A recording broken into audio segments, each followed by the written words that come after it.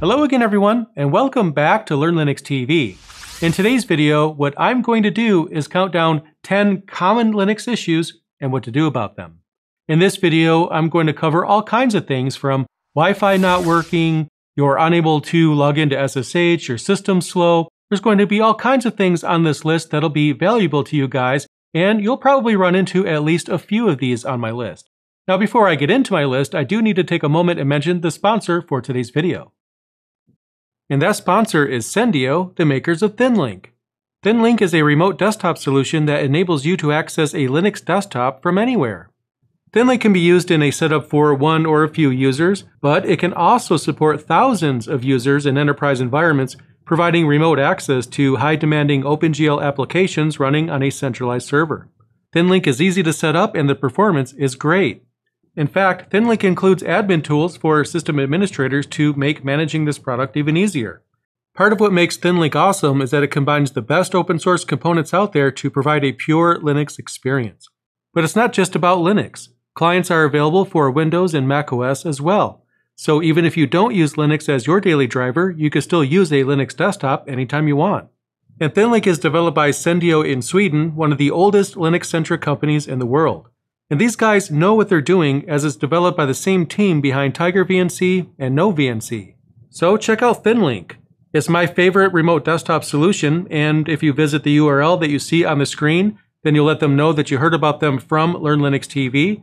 But not only that, you can test it out for yourself and see why it's awesome. You can set it up on a virtual machine, a cloud instance, or perhaps your own computer. And a full version is available for up to 10 concurrent users for free. So check out ThinLinc.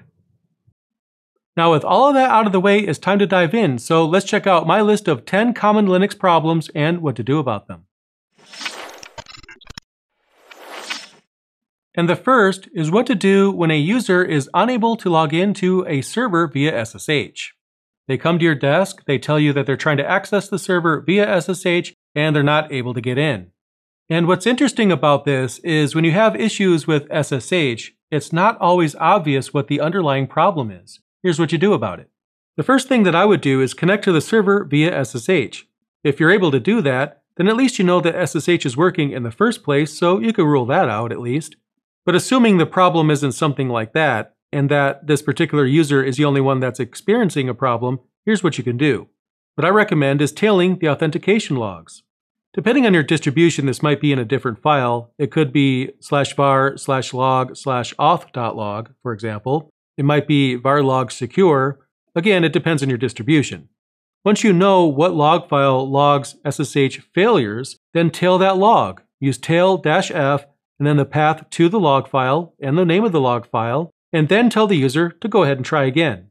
Once they do, you'll see that the log is updating right before your eyes because Dash F is follow mode, you're following the log file, and anything that's newly written to the log will show up on your screen, which also means if the user is trying to log into the server, you'll see the error message in the logs right away. It might say that there's a problem with their SSH key, that they're not in the allowed users list or something, who knows. But whatever it is, it should be made apparent what's going on once you check the log file. My next tip is for those of you that are running Linux on a workstation, a desktop, or a laptop and it's especially for those of you that use GNOME as your desktop environment of choice. If you haven't changed the desktop environment, chances are you're probably running GNOME. Ubuntu uses GNOME as its default desktop environment, Fedora, the same thing, you get the idea. Now, if your system is running very sluggish, there's one thing that I think people often overlook as the underlying cause tracker. Now, the word tracker sounds really bad, doesn't it? Who's tracking you? And why are they tracking you? No, no, no, no, no. I'm not talking about anything like that. The application is named Tracker. That's what I'm referring to, an application or service named Tracker. It's part of the GNOME desktop. What it does is it scans files on your system to allow you to find them faster. It's an indexing service, basically, and it makes all of your searches faster on the GNOME desktop, so it's a good thing to have.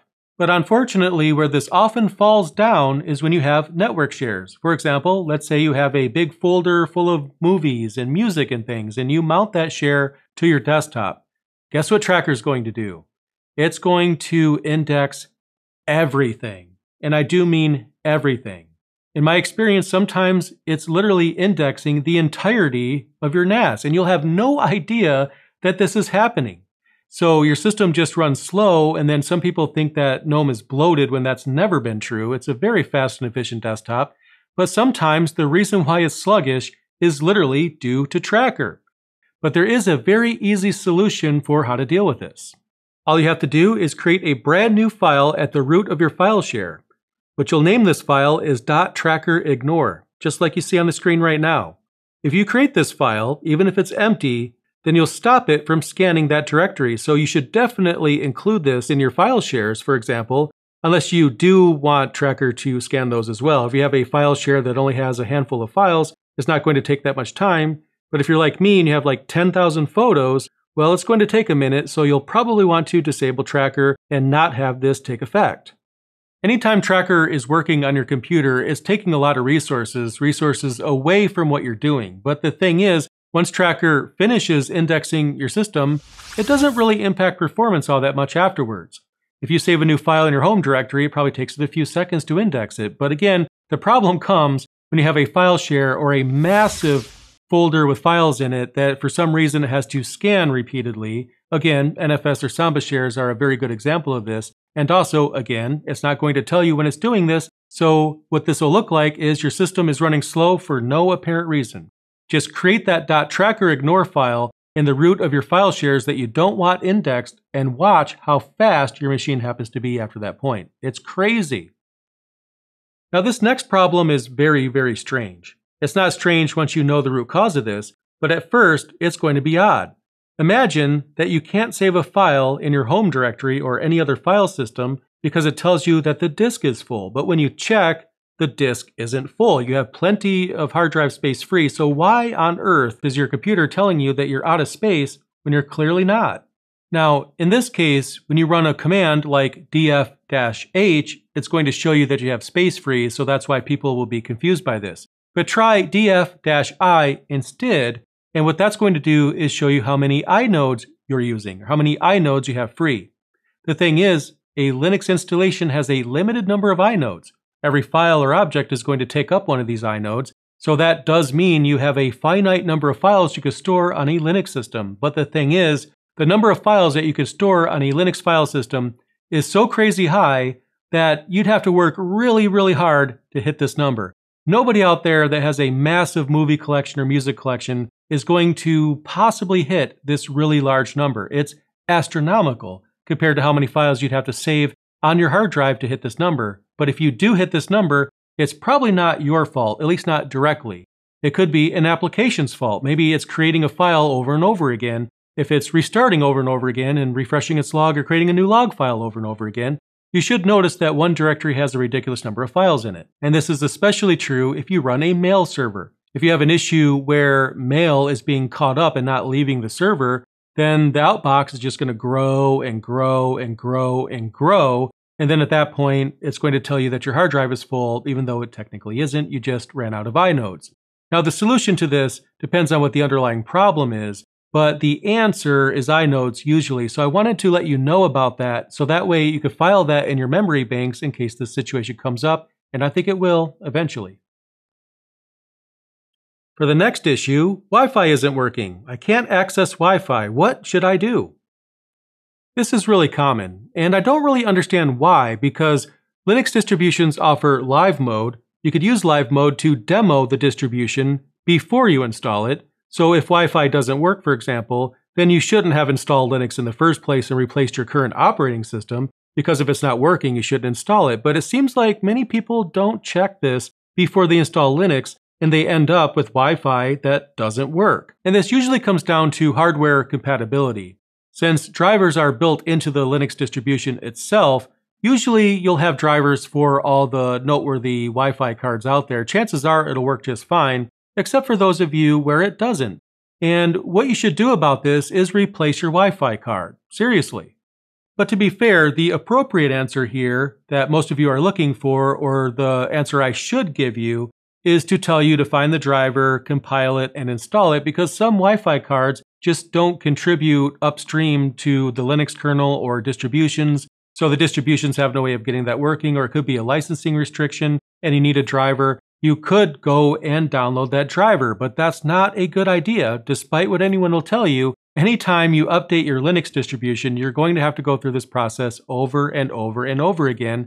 And you might forget the process sometime down the road. You might find yourself upgrading a Linux distribution to a newer version just to find Wi Fi broke again. How did you install the Wi Fi driver? Oh, right, you don't remember because that was a year ago.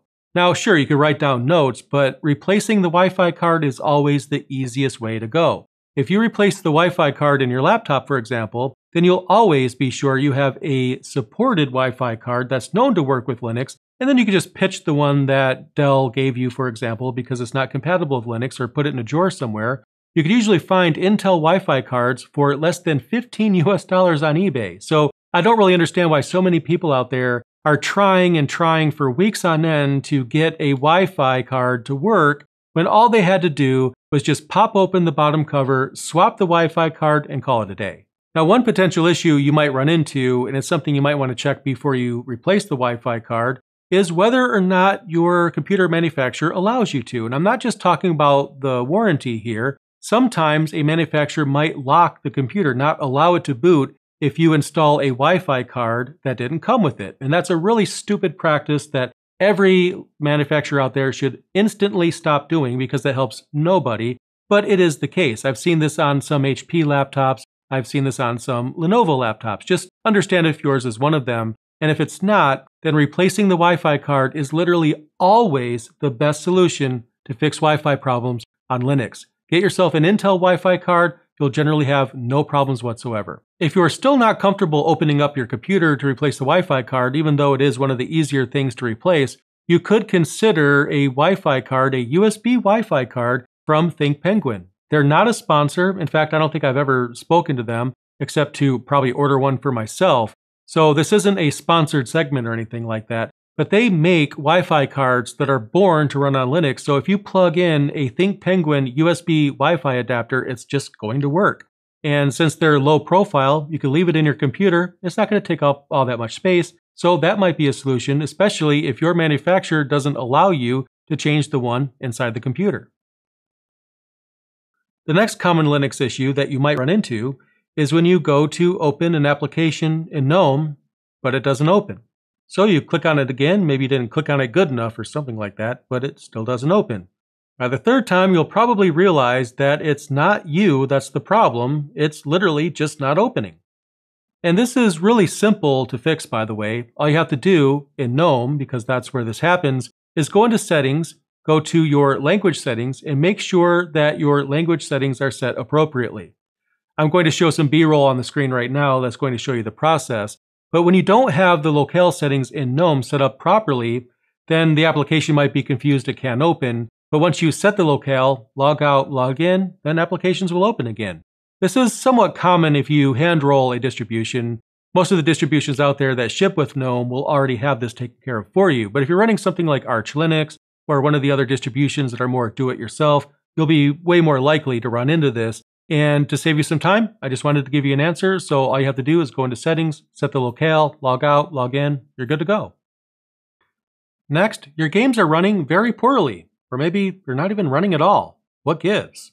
And this is one of the things that people run into first when it comes to Linux, especially those of you that have an NVIDIA card, which is who I'm talking about here.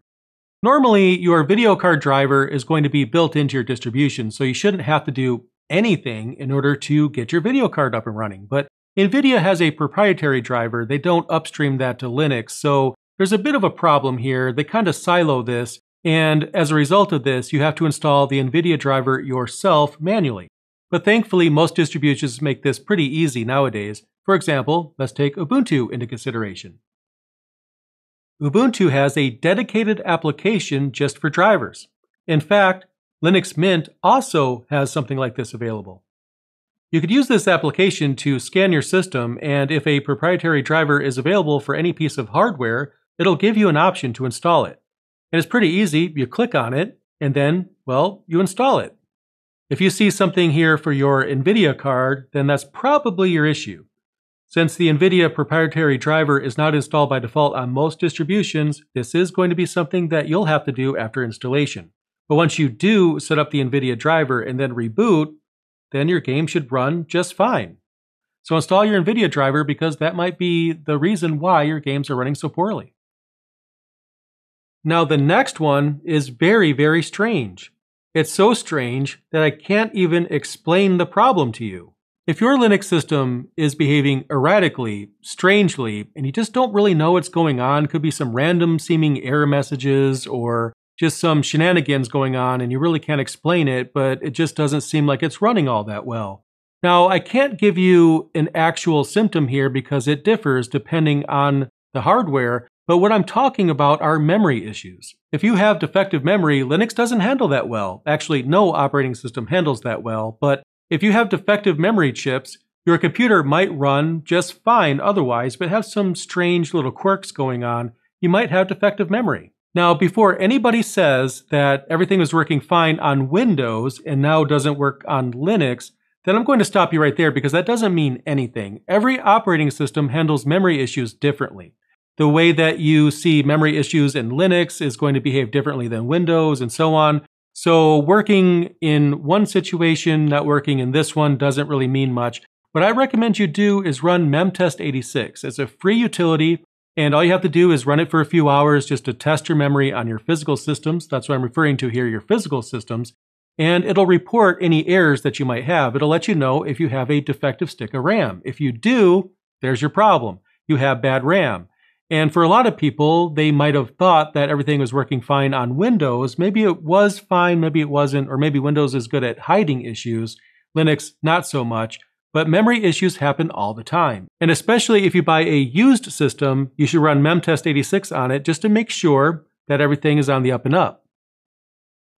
Number eight, are you dealing with a software problem or a hardware problem? Now, to be fair, hardware issues are usually pretty obvious. For example, if you bump your monitor and crack it, there's a hardware issue. You don't need to do any diagnosing to find out what's going on with your monitor. If there's a big crack in it, you know what's going on. Obviously, it's a hardware issue, but sometimes you don't really know for sure. It could be a software issue or a hardware issue, and here's how you could tell the difference. Run live media. By running a distribution in live mode by downloading the ISO image, creating bootable media, and running off of that, you could find out if your problem persists in that environment or if it only happens in your installed environment. If the problem does not happen on a live instance, for example, then that might mean that you have a configuration issue. You have something to fix in the settings when it comes to your distribution. But if you have the same problem with live media, then you know it's not really related to your installation. There must be something else that's causing it, and now it's starting to look more like there's a hardware issue. Now, it's impossible for me to give you a full list of symptoms here because when it comes to hardware and software problems, that's very generic. I don't know what kinds of hardware problems, what kinds of software problems you might be running into. But what I do know is that live media is something you should always have around. It helps you troubleshoot things by narrowing down where the problem space is. You can find out if it's an issue with your distribution, maybe something works fine in another distribution, maybe you have a problem that doesn't work regardless of what operating system or distribution you use, in that case, you have a hardware problem, or sometimes you need to get into your system in an emergency basis. Maybe you can't boot the system. In that case, a live media image is going to be great because you could boot the computer even if, you know, something failed and maybe get some files off of it before you pitch it. It's a good thing to have live media available and you always should because it helps you narrow things down. Now it's time for number nine. You should ditch DisplayLink. DisplayLink is a popular technology for USB hubs and docking stations, specifically docking stations, because that's where this comes up the most often. But what exactly is DisplayLink? DisplayLink is technology that powers some of the docking stations out there. And by docking station, I'm referring to the USB C docking stations or USB 3 docking stations that you might have seen. And maybe you own one.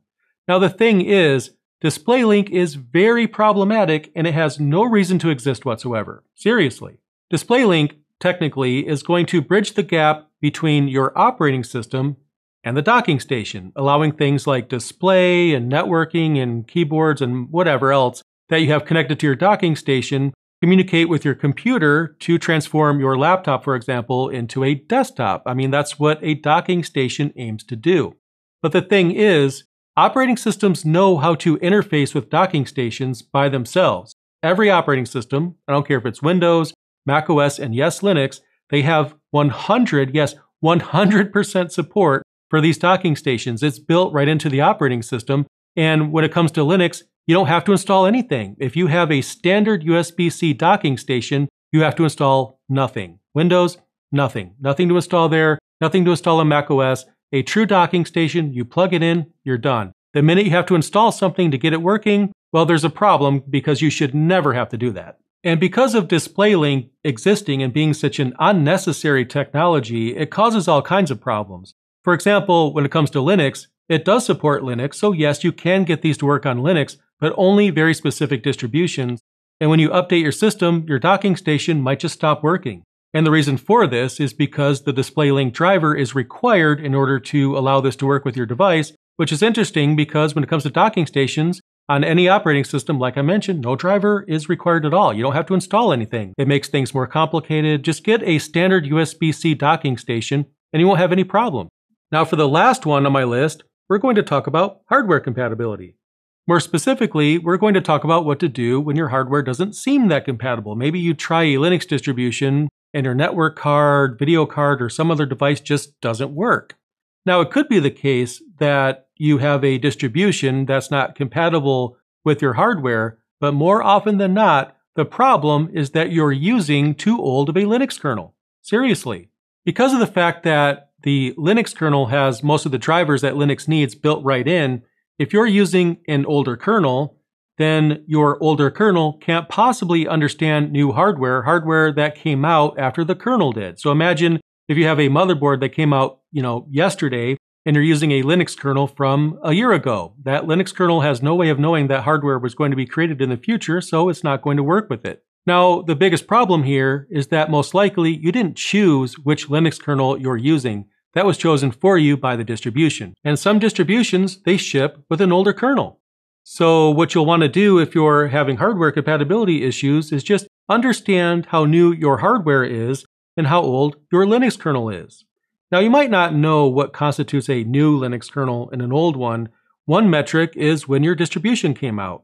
If you're using a distribution that came out a few years ago, well, the kernel probably did too. And two distributions you can consider checking out that might help you in this case is Ubuntu or Pop! OS. Both of them have really good compatibility with hardware, so if you're using a different distribution, you could consider one of those. But more often than not, if you're using an older Linux kernel, then you might have some hardware compatibility issues to diagnose. And that brings us to the end of the video. I hope you enjoyed this list of common Linux issues and their fixes, and I hope at least one of them has helped you out. And if it did, please consider clicking the like button to let YouTube know that you like this video. I would really appreciate it. In the meantime, I have some awesome videos coming, so please subscribe to Learn Linux TV for the latest in Linux, and I'll see you in the next video.